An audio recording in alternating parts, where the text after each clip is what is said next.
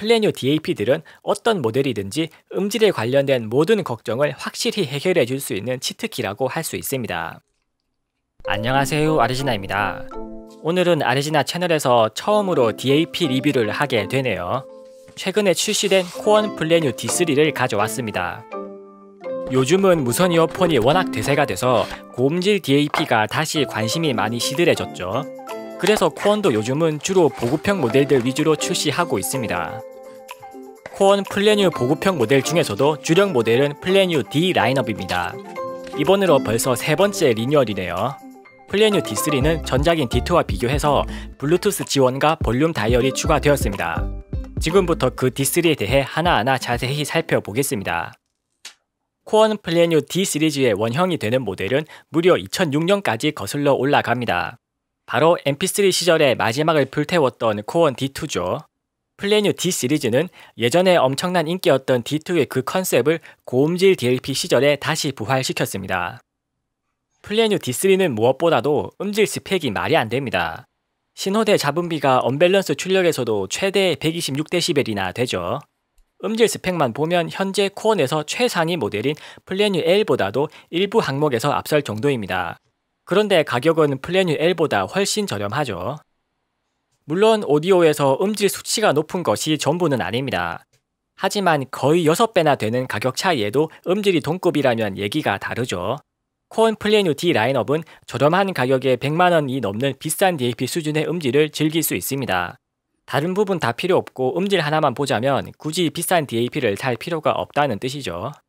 코원 플레뉴 DAP들의 음질을 측정해보면 스펙과 크게 차이가 나지 않거나 오히려 더 좋은 수준입니다. 그래서 사실 플레뉴 DAP들은 음질 측정 테스트는 굳이 자세히 안 봐도 되기는 합니다. 2V 출력에서 신호대 잡음비가 126dB이면 산술적으로 잔류 잡음이 0.71 마이크로 볼트 밖에 안 됩니다. 그러니까 이론적인 잡음 크기가 0.0000071V라는 얘기죠. 실제 측정해 봐도 신호대 잡음비가 123dB 정도는 무난하게 나옵니다. 덕분에 어지간한 초고감도 이어폰을 연결해도 잡음 문제는 느끼기 어렵죠. 하모닉스 외율 스펙은 0.0004%인데 이걸 데시벨로 환산하면 마이너스 108dB입니다. THD 측정 그래프를 보면 2V 신호가 들어올 때 하모닉스 2차 배음이 마이너스 111dB밖에 안 되죠. 참고로 2차 배음이 마이너스 40dB 이하만 돼도 귀로 차이를 느끼기는 매우 어렵습니다. 마이너스 111dB 하모닉스 왜곡을 귀로 느낄 수 있으면 아마 하만 연구소에서 어서 옵쇼 하고 모셔가겠죠. 그래서 플레뉴 DAP들은 굳이 음질을 측정해서 자세히 보는 의미가 없다는 겁니다. 주파수 응답도 가청 주파수 내에서는 지극히 평탄한 모습을 보입니다. 그래서 코원 플레뉴 DAP들은 진짜 무색무취한 중립적인 사운드를 들려주죠. DAP가 음악에 개입하는 느낌이 전혀 없이 그냥 원음을 있는 그대로 전달하는 능력 하나만큼은 플레뉴가 세계 최고입니다. 코원 플레뉴가 보급형 모델에서도 이런 높은 음질을 낼 수 있게 해준 것이 바로 시러스 로직의 신형 저전력 DAC 칩셋입니다. 코원 플레뉴 D3는 시러스 로직 CS43131을 채널당 하나씩 듀얼로 탑재했죠. 이 칩셋 하나의 가격이 대량 구매 시 개당 8달러 정도밖에 안 합니다. 그런 저렴한 초소형 칩셋이 그런데 의외로 음질이 엄청나게 좋습니다. data sheet 상으로 dynamic range 스펙이 무려 130dB이나 되죠. THD+N도 마이너스 115dB이나 되는데 DAP 스펙하고 비교하기 좋게 퍼센트로 환산하면 0.00017% 밖에 안 됩니다.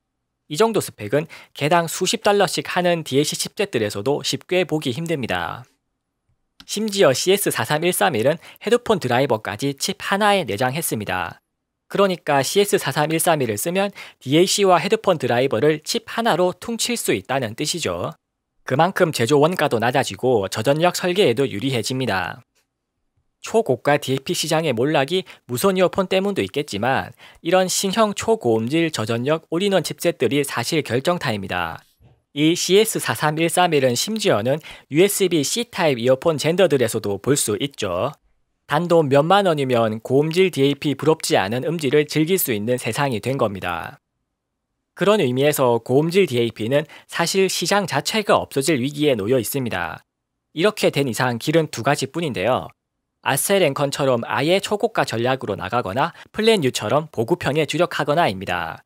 어중간한 컨셉으로는 절대 살아남을 수가 없는 어려운 상황이죠. 원래 mp3 시절부터 음질 하면 코원이라는 이미지가 있었습니다. 고음질 DAP 시대로 넘어와서도 여전히 음질 하나만큼은 독보적이죠. 그런 의미에서 코원 플레뉴 D3는 동급 가격대에서 가장 우수한 음질을 즐길 수 있다는 컨셉 하나만큼은 확실합니다. 이 가격에 신호대 잡음비가 130dB이 넘고 4V balanced 출력까지 지원하는 DAP는 전 세계를 뒤져봐도 없죠. 대신에 플레뉴 보급형 모델들은 사용 편의성은 좀 많이 떨어집니다. 디스플레이 화질이나 반응 속도를 보면 스마트폰에 익숙해진 요즘 유저들이 쓰기엔 참 답답하죠. 39만 9천원이라는 가격에서 음질에만 한 30만원 정도 투자한 느낌이네요. 여기서도 참 코원답다면 코원다운 우직함이 느껴집니다. 플레뉴 D3가 D2보다 나아진 점은 일단 볼륨 다이얼이 추가되었습니다. D3가 볼륨 단계가 140단계나 되다 보니까 상위 모델들처럼 볼륨 다이얼이 추가된 점은 확실히 좋네요. 다만 볼륨 다이얼의 유격을 보면 역시 상위 모델과의 급 차이가 느껴지는 건 어쩔 수 없습니다. 볼륨 다이얼만큼이나 혁명적인 변화는 충전 단자가 드디어 USB-C 타입으로 바뀌었습니다. 솔직히 이거 하나만으로도 D2에서 바꿀 가치가 충분히 있을 정도죠. 배터리 사용 시간도 고해상도 FLAC 음원만 써도 30시간이나 됩니다. 충전 시간이 최대 3.5시간이나 돼서 약간 답답하긴 해도 사용 시간 자체가 긴 편이라서 큰 단점은 아닙니다. 기능적인 개선점으로는 드디어 블루투스 연결을 지원합니다. 다만 블루투스 버전이 고작 3.0 정도밖에 안 되네요. 코덱은 aptX 코덱은 지원하는 대신에 AAC 코덱이 빠진 점도 좀 아쉽네요. 그래서 플레뉴 D3에서 블루투스 기능은 주력으로 쓰기는 좀 힘들고 그냥 비상용이라고 생각하는 게 좋을 것 같습니다. 플레뉴 D3의 내장 메모리는 64기가 단일 용량으로만 출시되었습니다. 그런데 내장 메모리 속도가 정말 2020년 제품이라고는 생각하기 힘들 정도로 느리네요. 그래서 음원을 자주 바꾸는 분들은 그냥 마이크로 SD 카드로 관리하는 게 속 편할 겁니다. 참고로 마이크로 SD 카드 슬롯이 지원하는 최대 용량은 공식적으로는 128기가입니다. 플레뉴 D3는 24비트 192K 고해상도 PCM 음원과 DSD 128 음원을 지원합니다. DSD는 심지어 native 재생을 지원하고요. 게다가 SACD ISO 파일까지도 변환 없이 그대로 재생할 수 있습니다. 이런 보급형 DAP에서 이 정도로 음질 지원이 빵빵한 제품은 다른 회사에선 진짜 찾아보기 어렵죠. 이런 점에서도 역시 음질 하나만큼은 타협하지 않는 코원다운 우직함이 느껴집니다. 또 코원 플레뉴만의 장점은 바로 Z 이펙트입니다. MP3 시절부터 탑재되고 있는 말 그대로 역사와 전통의 음장 기능이죠. 플레뉴 D3는 오밴드 이퀄라이저와 BBE plus를 지원합니다. BBE plus에는 소리를 선명하게 보정하고 공간감을 확장시키는 다양한 옵션들이 있습니다. 그런 옵션들을 마음대로 만질 수 있는 user preset도 4개를 지원해서 관리하기가 쉽죠. 혹은 설정을 수동으로 만지기 어려워하는 유저분들을 위해서 프리셋도 44가지나 기본으로 제공합니다. 전용 가죽 케이스는 이번엔 완전 빨간색입니다. 스티치까지도 빨간색이라 말 그대로 올레드네요. 우측면 버튼들은 케이스로 전부 덮어서 보호가 됩니다. 다만 마이크로 SD 카드 자리는 막혀 있네요. 그래서 SD카드를 자주 탈착하는 분들은 좀 귀찮을 수도 있겠습니다. 이제 리뷰를 마무리하면서 전체적으로 정리해 보죠. 코원 플레뉴 D3는 30만원대 가격에 플래그십급 음질을 담아낸 엄청난 가성비를 가진 DAP입니다. 대신에 유저 인터페이스나 내장 메모리 속도 같은 음질과 상관없는 부분들은 성능이 좀 떨어지기는 하죠. 그런 의미에서 플레뉴 D3는 타겟 소비자층이 딱 정해져 있습니다. 저렴한 가격에 부담 없이 최대한의 음질을 즐기고 싶은 유저분들이죠. 게다가 플레뉴 상위 모델들보다 배터리가 더 오래가는 점도 평소에 가볍게 가지고 다니기에 상당히 괜찮은 장점입니다. 이런 보급형 모델이 이런 고음질로 나와버리면 그러면 상위 모델은 대체 무슨 의미냐 싶은 분들도 계시겠죠. 플레뉴 상위 모델들은 D3 같은 보급형 모델보다 디스플레이와 반응 속도가 훨씬 더 좋습니다. 그리고 디자인과 마감도 훨씬 고급스럽죠. 오디오 제품을 사용하면서 그런 감성 품질도 솔직히 무시 못할 요소입니다. 그러니까 그런 감성 품질을 원하는 분들은 상위 모델로 가시면 되겠습니다. 반면에 음질 말고는 별로 관심이 없는 분들은 D3만 해도 충분히 만족스러운 음질을 즐길 수 있습니다.